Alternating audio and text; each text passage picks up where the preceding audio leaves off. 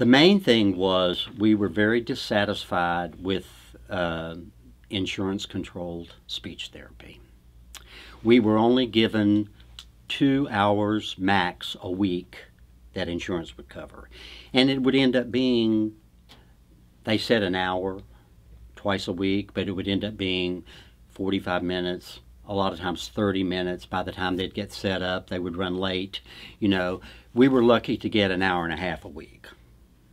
And we got tired of it, really. And I, and so finally we just quit. We did it, uh, we went in and out and in and out for about two and a half years. And then I found out about your program, and I said, Joe, we need to do this, and that's how we came here. But we, it was basically just we got fed up with the insurance industry controlling his cure, or his not cure, but his help.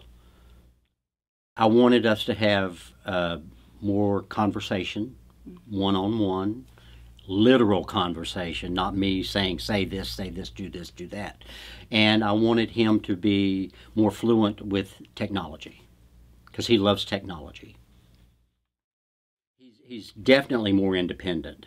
And what he will do now is he, um, it's helped draw him out of his shell. And he is making more of an effort to actually talk. And whereas before, I felt like a lot of times I was talking for him. And now he's he's making and that's happened in I could see it the first week.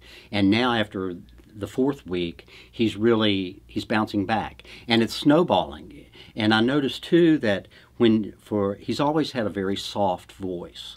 And his voice uh, now is uh, the volume is stronger. And I think it must be a muscle related issue or something of practice because he was talking in a whisper when we came. And now it's it, like today when he was giving the speech, it was the volume was really right on, you know. So that's been the biggest improvement his uh, stepping up, so to speak, and our being able to talk more without having all the cues and my saying this.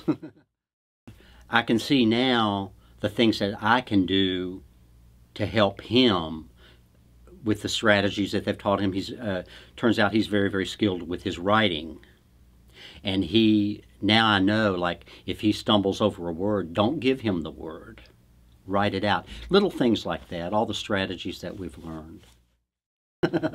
100%. And we'll be back.